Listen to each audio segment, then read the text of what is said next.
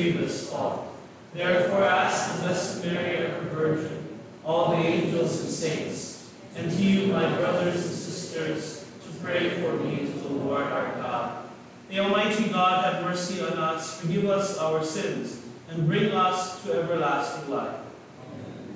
Lord, have mercy. Lord, have mercy. Christ, have mercy. Christ, have mercy. Lord, have mercy. Lord, have mercy. Let us pray. O God, who through your word reconciled the human race to yourself in a wonderful way, grant, we pray, that with prompt devotion and eager faith, the Christian people may hasten toward the solemn celebrations to come. Through our Lord Jesus Christ, your Son, who lives and reigns with you in the unity of the Holy Spirit, God forever and ever. Amen.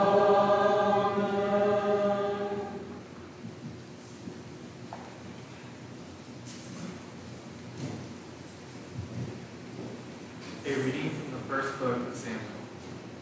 The Lord said to Samuel, Fill your horn with oil and be on your way. I am sending you to Jesse of Bethlehem, for I have chosen my king from among his sons. As Jesse and his sons came to the sacrifice, Samuel looked at Eliab and thought, Surely the Lord's anointed is here before him. But the Lord said to Samuel, Do not judge from his appearance or from his lofty stature, because I have rejected him. Not as man sees, does God see, because man sees the appearance, but the Lord looks into the heart. In the same way, Jesse presented the seven sons before Samuel. But Samuel said to Jesse, The Lord has not chosen any one of these. Then Samuel asked Jesse, Are these all the sons you have? Jesse replied, There is still the youngest, who is tending the sheep. Samuel said to Jesse, Send for him. We will not begin the sacrificial banquet until he arrives here. Jesse sent and had the young man brought to him. He was ready, a youth handsome to behold and making a splendid appearance. The Lord said, There, anoint him, for this is the one. Then Samuel, with the horn of oil in his hand, anointed David in the presence of his brothers, and from that day on, the Spirit of the Lord rushed upon him. The word Thanks be to God.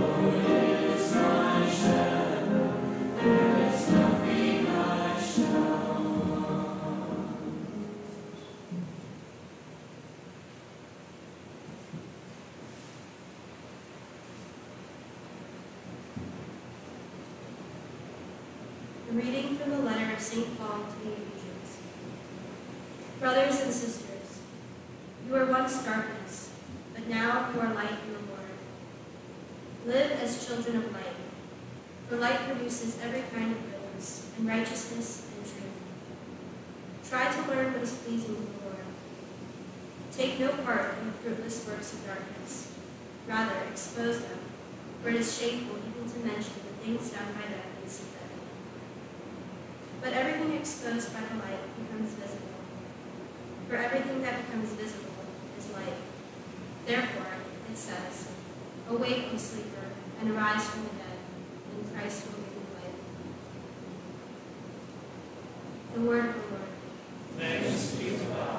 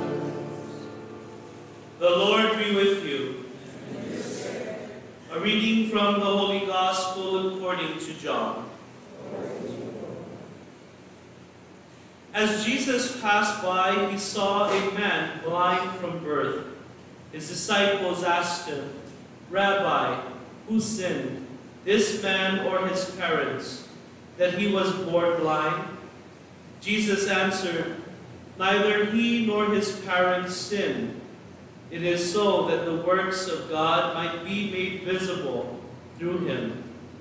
We have to do the works of the one who sent me while it is day. Night is coming when no one can work. While I am in the world, I am the light of the world. When he had said this, he spat on the ground and made clay with the saliva, and smeared the clay on his eyes, and said to him, Go wash in the pool of Siloam, which means sent. So he went and washed, and came back able to see. His neighbors and those who had seen him earlier as a beggar said, Isn't this the one who used to sit and beg? Someone, some said, It is. But others said, No, he just looks like him. He said, I am. So they said to him, How were your eyes opened? He replied, The man called Jesus made clay and anointed my eyes and told me, Go to Siloam and wash. So I went there and washed and was able to see.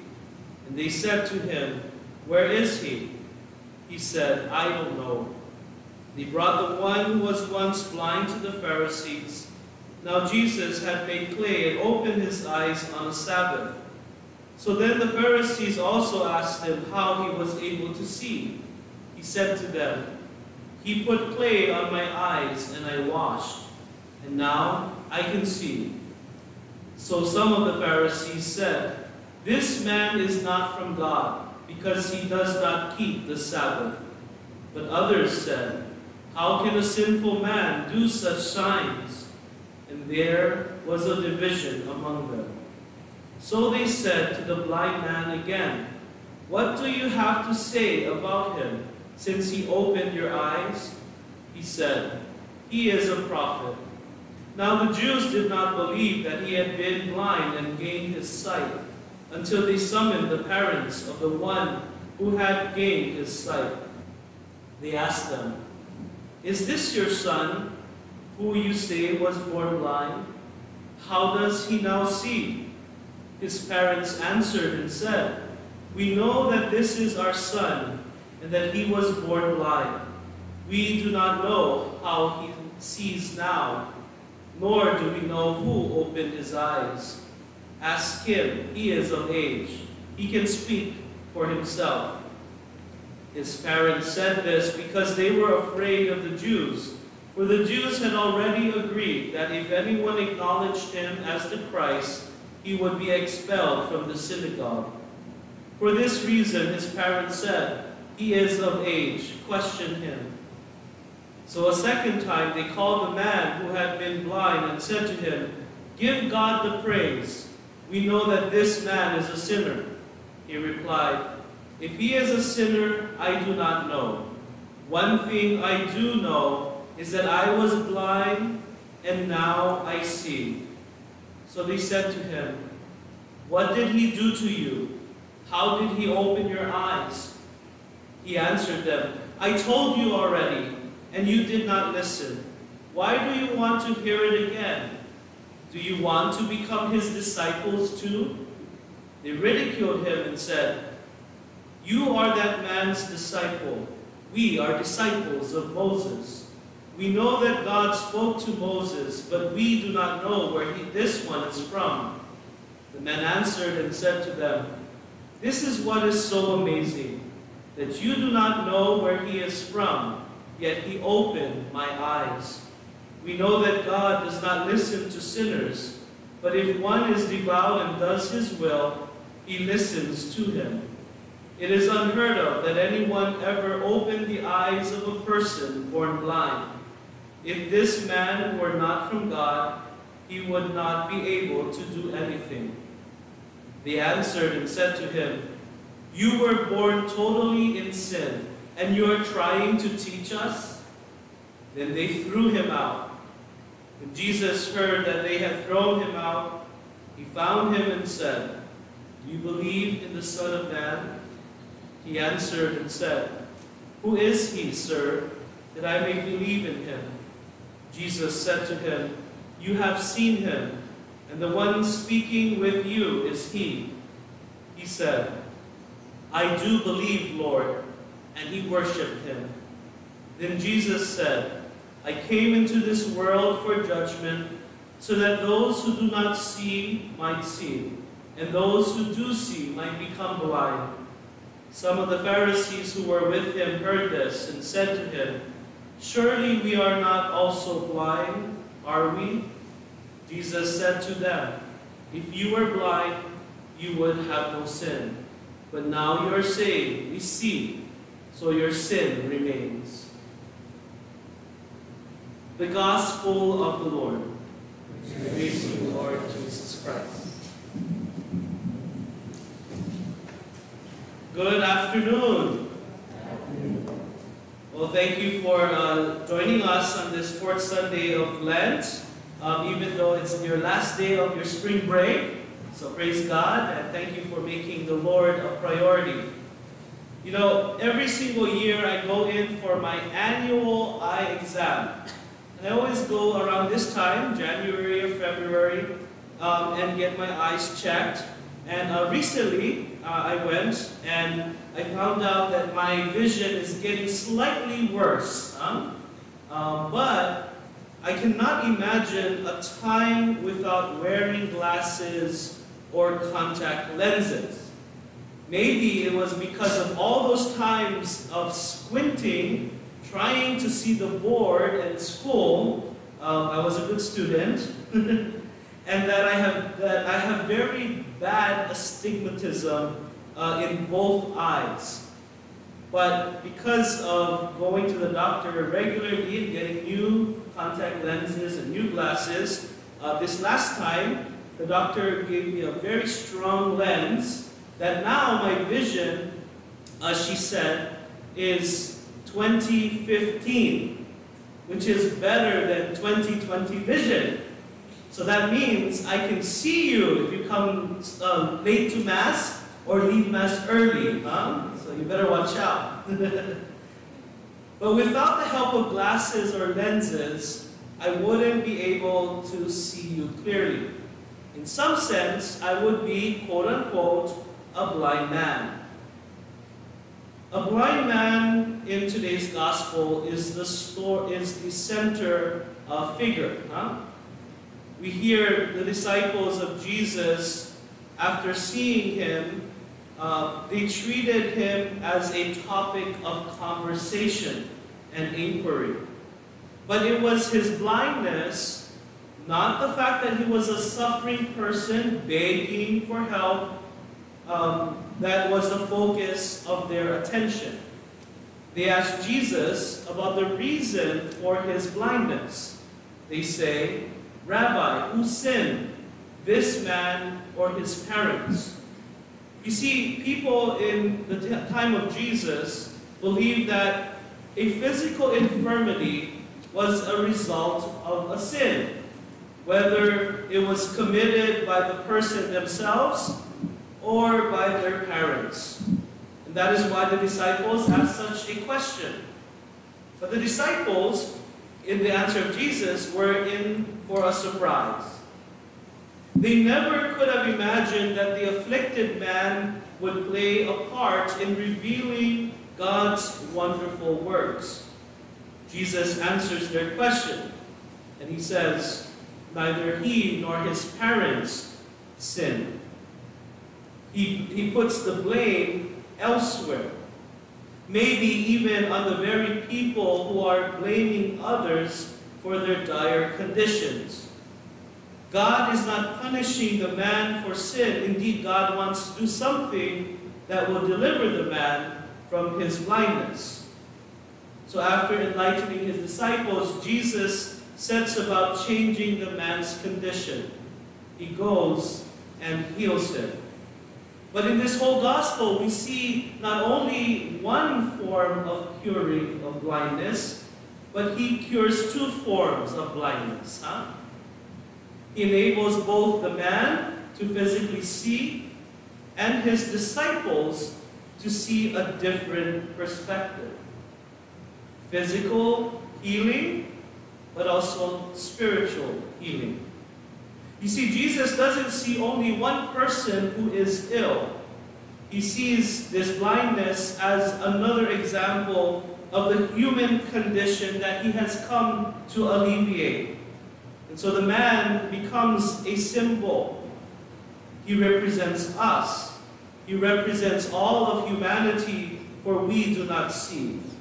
Because blindness is a universal ailment that afflicts humanity physical, and spiritual. Sometimes we are blind to God's presence in our lives.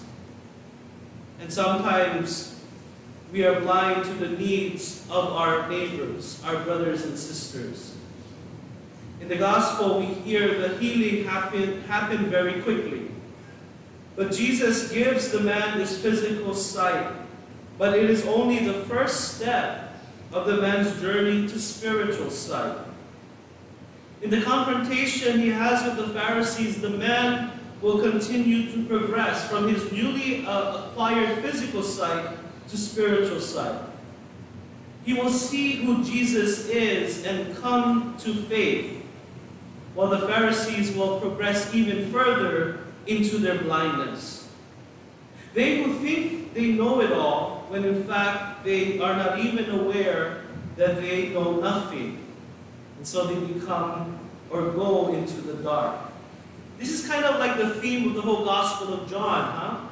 That in the, the, the progression of the Gospel, the disciples come to light, and the religious figures, the Pharisees, go into darkness. But on the other hand, Throughout the story, the man admits his ignorance about many things. In doing that, unlike the Pharisees, he is open to change. After he is thrown out by the Pharisees, Jesus returns to him. And the man admits his need to Jesus.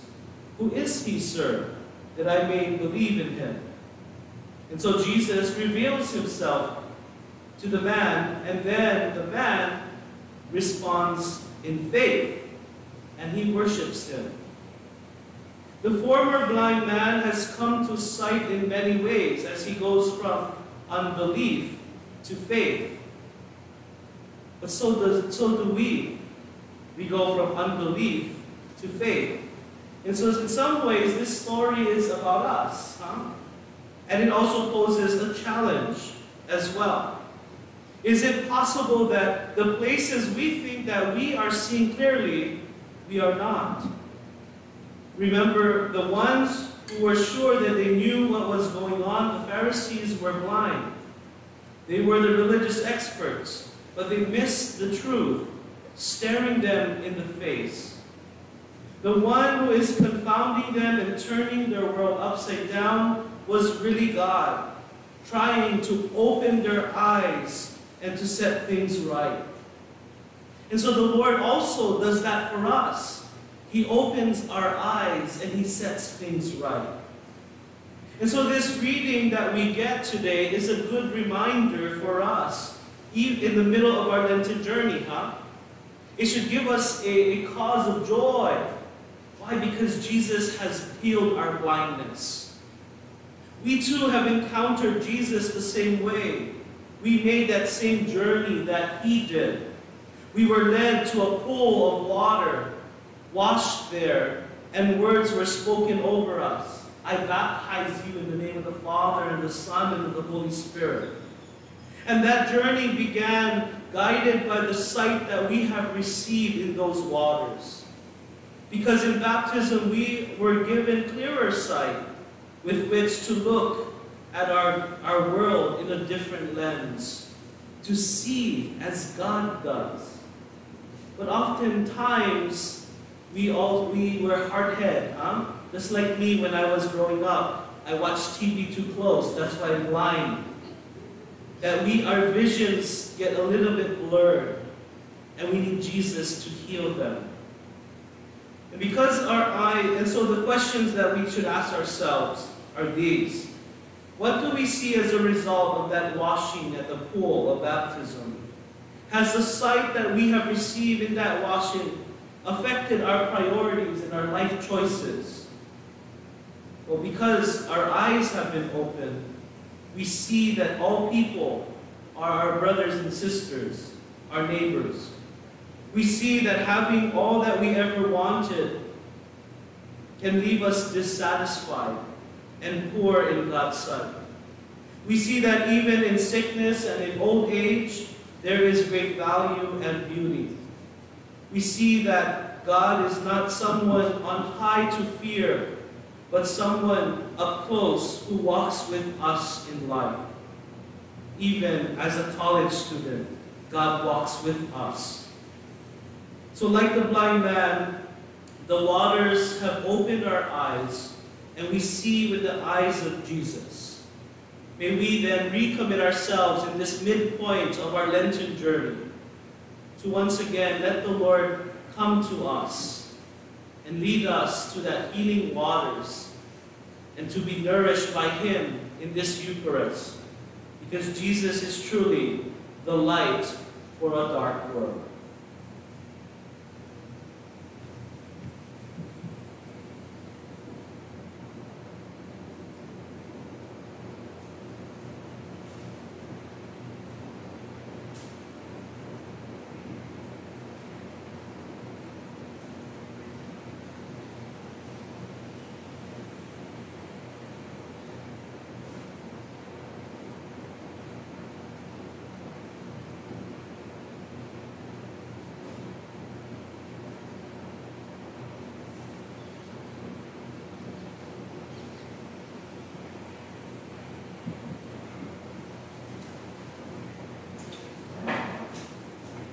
I believe in one God, the Father Almighty, maker of heaven and earth, of all things visible and invisible.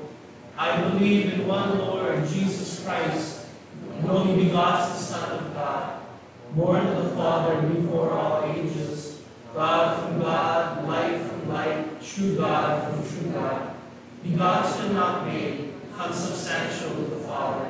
Through him all things were made. For us men, for our salvation, he came down from heaven. And by the Holy Spirit was incarnate of the Virgin Mary and became man. For our sake he was crucified and Pontius Pilate. He suffered death and was buried, and rose again the third day in accordance with the Scriptures. He ascended into heaven and is seated at the right hand of the Father. He will come again in glory to judge the living and the dead, and his kingdom will have no end. I believe in the Holy Spirit, the Lord, the giver of life, who proceeds from the Father and the Son, who with the Father and the Son is adored and glorified, who has spoken through the prophets. I believe in one holy Catholic and Apostolic Church. I confess my baptism for the forgiveness of sins, and I look forward to the resurrection of the dead, the life of the world to come. Amen. Every day the works of God are made visible by our faith. And so in faith we turn to God with our needs and the needs of our sisters and brothers, always striving to see God's works made manifest. For the church, that the light may shine upon the world, may spread the love of Christ to all for God's children. Let us pray to the Lord. Lord, hear our prayer. That those who live in the darkness of war, oppression, and poverty may find hope in the light of Christ. Let us pray to the Lord. Lord, hear our prayer. For those who will be initiated into the church at Easter, that they may realize the grace of seeing with eyes of faith. Let us pray to the Lord. Lord, hear our prayer. For our student community and for all gathered here, that the new life we see in nature this spring may be reflected in the renewal of our mission in the world. Let us pray to the Lord. Lord, hear our prayer. For on our parish website, prayer book, and for those we now mention. Let us pray to the Lord. Lord, hear our prayer. We pray for all the students who are traveling back to the university, that the Lord will keep them safe. Let us pray to the Lord. We also pray for our beloved dead, especially those from our Newman community who have died recently, Carmen Salazar and Franco Kabakungan Jr. Let us pray to the Lord. Merciful Lord, light was your very first gift in creation, and your greatest gift in the person of your Son, the light of the world. Hear these prayers we offer you and answer them according to your will. We ask this through Christ our Lord.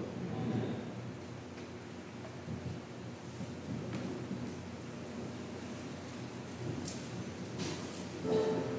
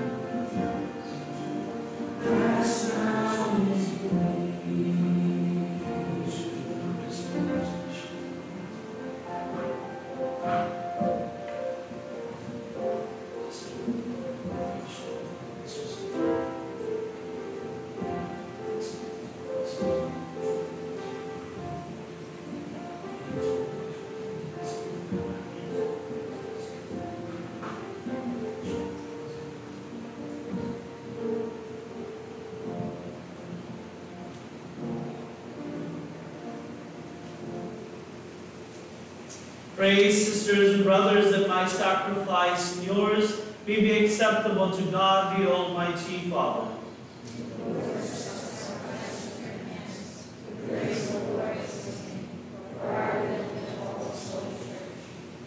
We place before you with joy these offerings, which bring eternal remedy, O Lord, praying that we may both faithfully revere them and present them to you as is fitting for the salvation of all the world.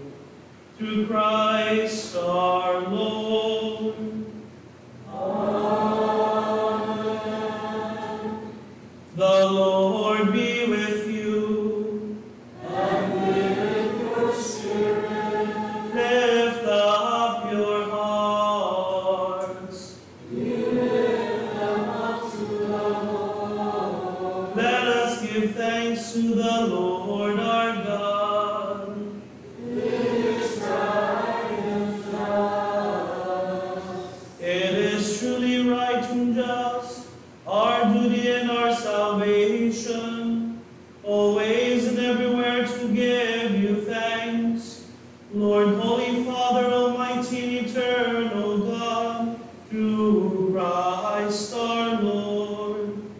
By the mystery of the Incarnation, He has led the human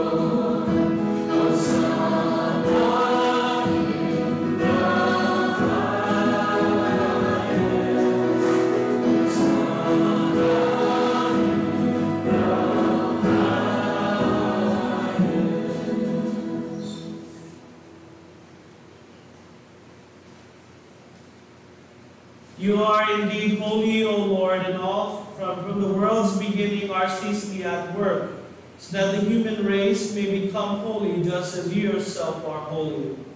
Look, we pray upon your people's offerings and pour out on them the power of your Spirit, that they may become the body and blood of your beloved Son, Jesus Christ, in whom we too are your sons and daughters. Indeed, though we were once lost and could not approach you, you loved us with the greatest love, for your Son, who alone is just, handed himself over to death and did not disdain to be nailed for our sake to the wood of the cross. But before him his arms were outstretched between heaven and earth to become the lasting sign of your covenant. He desired to celebrate the Passover with his disciples. As he ate with them, he took bread, and giving you thanks, he said the blessing broke the bread and gave it to them, saying, Take this, all of you, and eat of it. For this is my body, which will be given up for you.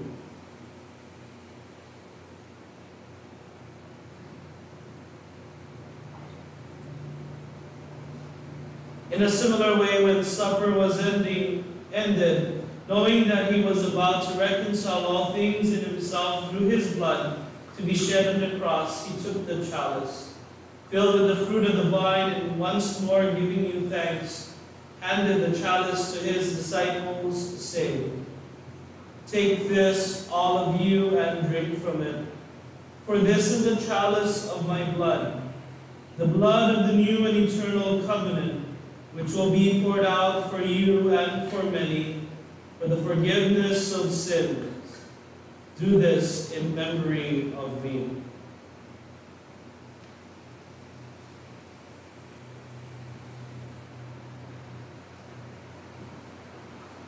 The mystery of faith.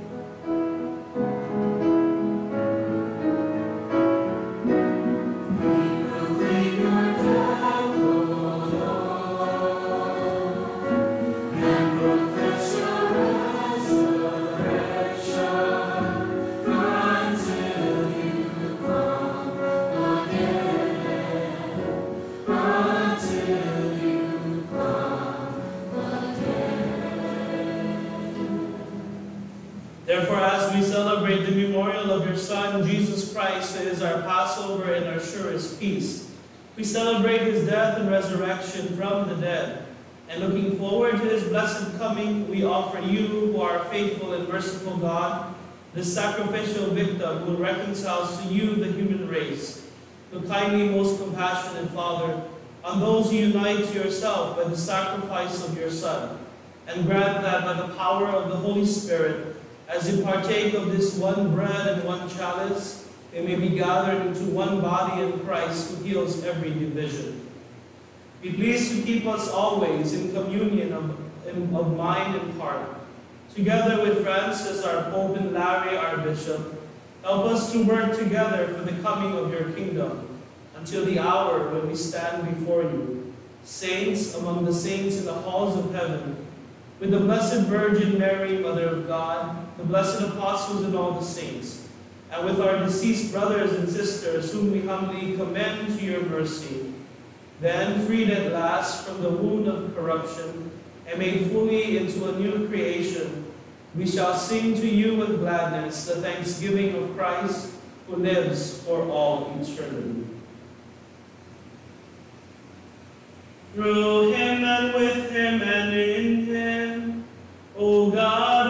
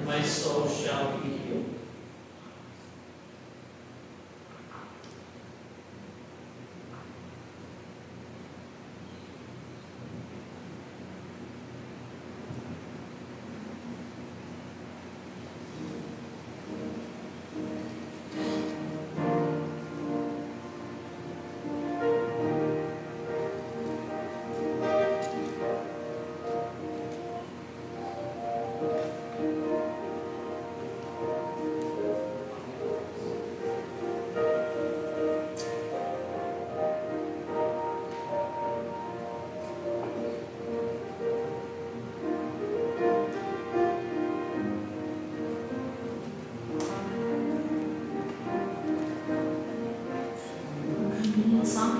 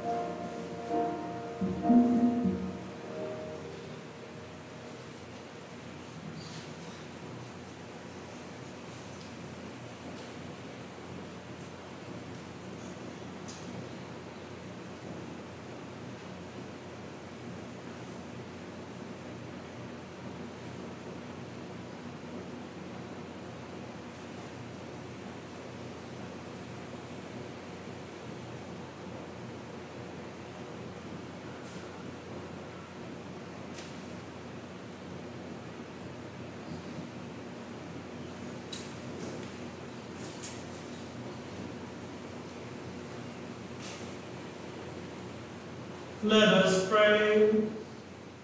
O God,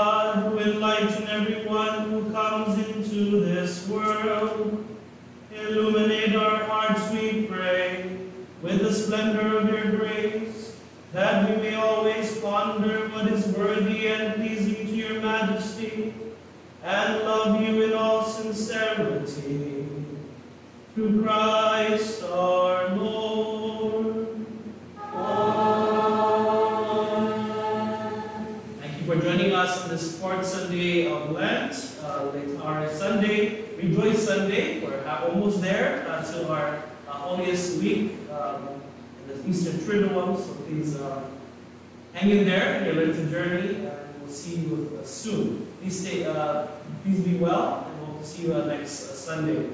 After Mass today, all, all our students are invited for our Sunday night student dinner on this side of the chapel. Please take home a parish bulletin for more information about what's happening in our parish and in our diocese. This coming Wednesday um, is our Lenten penance service. There will be several priests available for confession and absolution.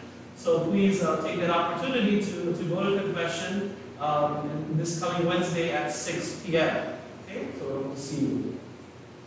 The Lord be with you. Bow down for the blessing.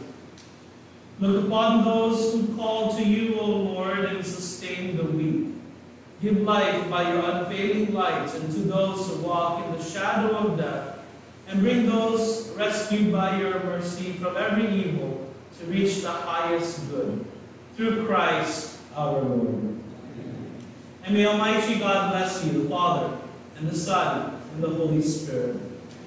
Go in peace, glorifying the Lord by your life. Minister and sing our sending forth song, I am the light of the world, found in your.